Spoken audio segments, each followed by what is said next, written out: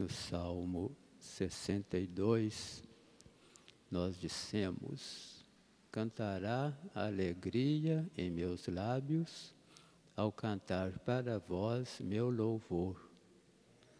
É com alegria nos lábios, com felicidade no coração, que nós participamos da Santa Missa, louvando e agradecendo a Deus.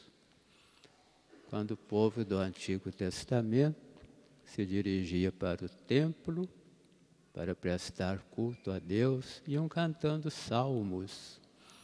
Que alegria quando me disseram: Vamos à casa do Senhor. Essa alegria que deve cantar em nossos lábios toda vez que nos dirigimos para a casa de Deus e participar da Santa Missa. A pergunta que Jesus fez hoje aos discípulos, há dois mil anos atrás, ele dirige a cada um de nós. Para vós, quem sou eu? É uma pergunta muito importante, de suma necessidade. Cada um de nós deve estar pronto para dar a resposta. O Santo Padre João Paulo II dizia: não basta responder o que os outros disseram. É muito fácil responder o que os outros já falaram. Mas é preciso dar uma resposta pessoal que brote lá do fundo do coração. Para nós, quem é Jesus Cristo? E o Papa dizia assim que essa resposta já mudou a vida de muita gente, dependendo da resposta que a gente der. Quem é Jesus Cristo para nós? Qual a missão que ele veio realizar aqui na terra? E o que é necessário para sermos seus discípulos, para sermos cristãos. Tudo isso está bem claro no Evangelho de hoje. Primeiro, quem é Jesus para nós? A palavra Jesus, de origem hebraica, significa Salvador ou Deus salva. Através de Jesus, Deus veio até nós. Ele é a face humana de Deus para nós. E a palavra Cristo, em grego, que corresponde a Messias, em hebraico, significa ungido. E ungido é aquele a quem Deus confia uma missão. Deus enviou Jesus com uma missão determinada. Ele veio para salvar o mundo. De modo que toda pessoa ungida recebe uma missão. No Antigo Testamento, Deus mandava ungir alguém para ser rei do seu povo, em nome de Deus. Outro era ungido para ser profeta, outro para ser sacerdote. Então Jesus foi também ungido com o óleo da alegria, pelo Espírito Santo. Esta etimologia da palavra. Aliás, a palavra é sempre muito importante. O nome que nós temos, ele deve trazer sempre uma mensagem para a nossa vida. Por isso a igreja recomenda aos pais para escolher o um nome adequado para seus filhos.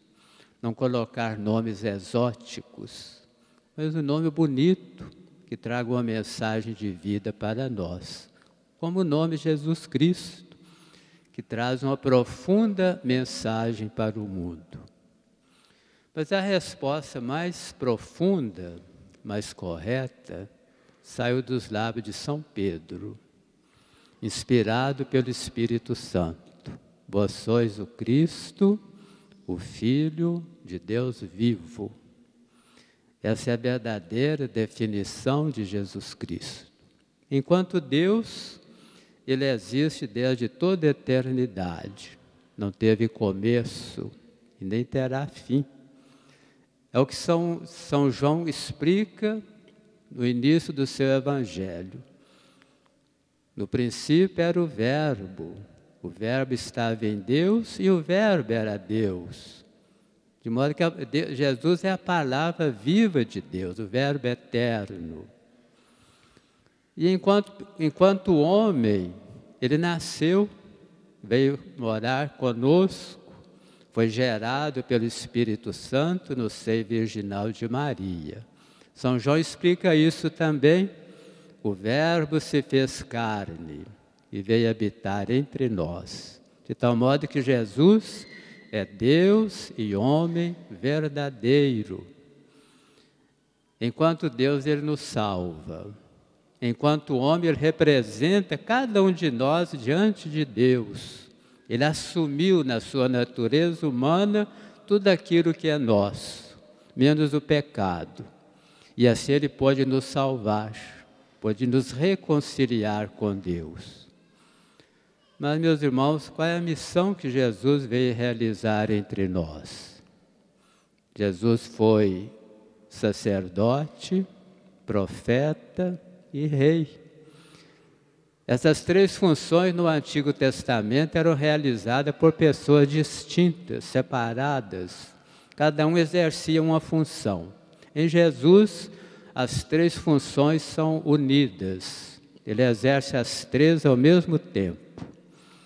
Enquanto sacerdote, ele deu a vida por nós, morreu pregado na cruz, oferecendo ao eterno Pai o supremo ato de adoração, abrindo para nós a porta do céu, reconciliando o homem com Deus, trazendo de novo a salvação e a vida, vencendo a morte e o pecado.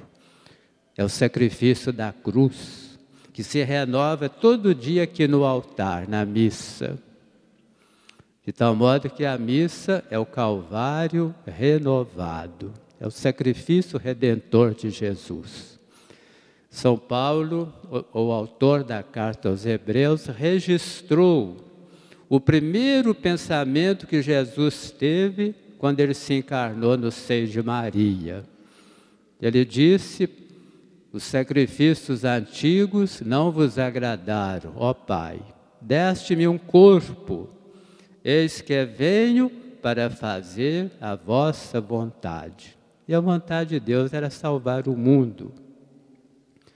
Enquanto profeta, Jesus anunciou a boa nova do Evangelho, tudo que é necessário para a nossa salvação.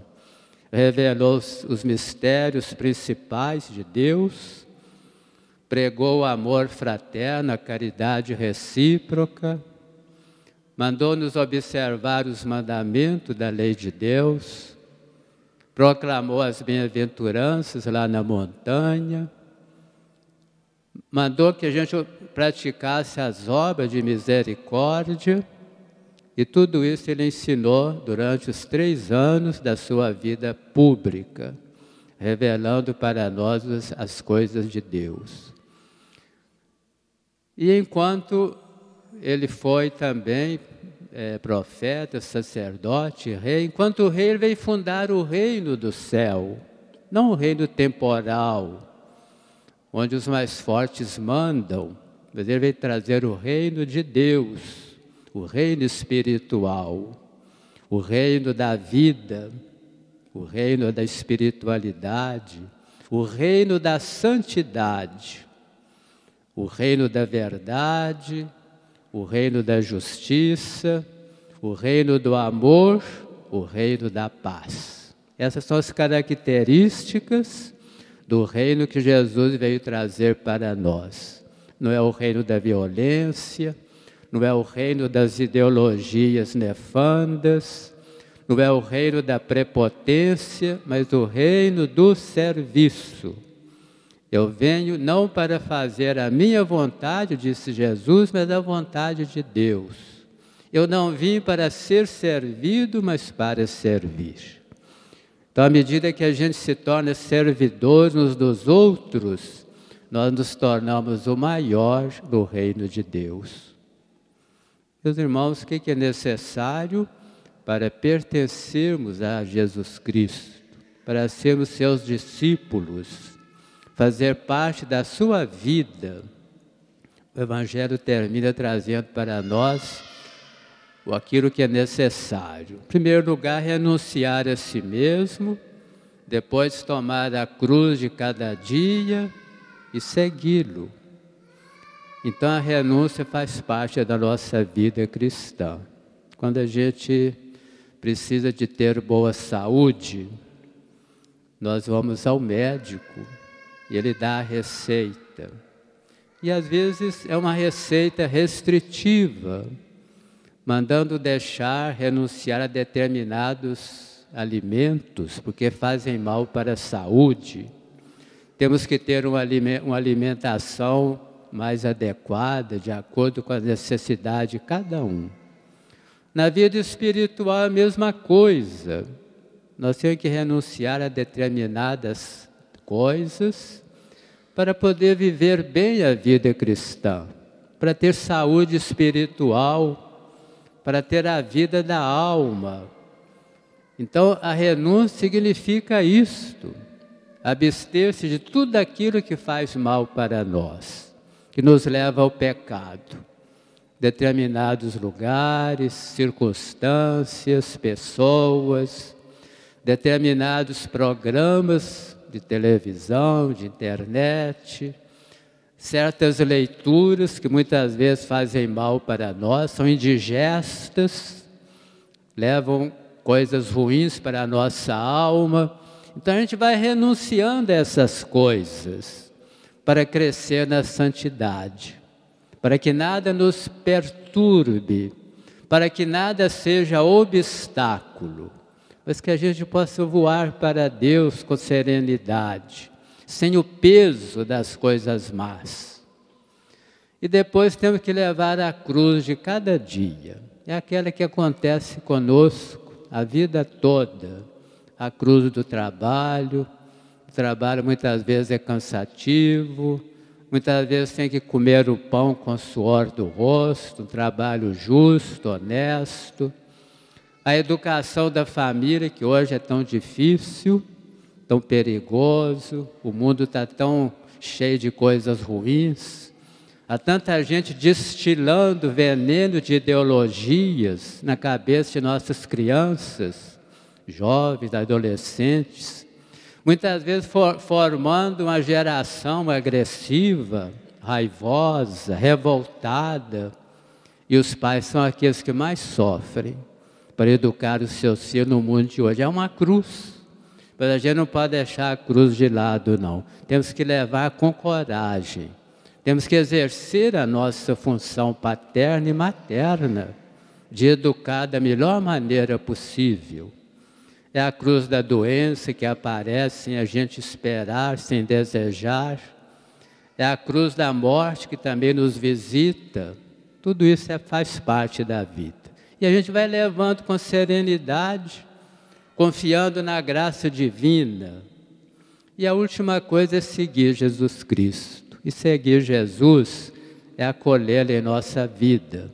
Aliás, São Paulo, na leitura de hoje, na carta aos Gálatas, diz assim: que nós todos somos filhos de Deus pela fé em Jesus Cristo. Nós que fomos batizados em Cristo, fomos revestidos de Cristo. Então, seguir Jesus é ser revestido de Cristo, é fazer que Jesus tome parte da nossa vida, seguir seus ensinamentos, colocar em prática sua doutrina, viver de acordo com aquilo que Ele deseja de nós. De tal modo que cada um possa dizer com São Paulo: Eu vivo, mas não sou eu que vivo, é Cristo que vive em mim. E Paulo fez isso a vida toda. A, e, e depois derramou o seu sangue por amor a Jesus. Viveu intensamente a sua vida cristã. Por isso eu dizia: para mim, o viver é Cristo. Meus irmãos, que este domingo de hoje nos ensine tudo isso. Quem é Jesus para nós? Vamos dar a nossa resposta bem clara, bem sincera, que brote do fundo do coração. E essa resposta, com toda certeza, há de mudar nossa vida também. Temos que ter esse encontro pessoal, físico com Jesus. Vamos meditar na função, da, na, na salvação que Jesus veio trazer, a missão que Deus lhe confiou, e ao mesmo tempo colocar em prática o que diz o Evangelho de hoje, para que possamos também sermos discípulos de nosso Senhor Jesus Cristo. Creio em Deus Pai.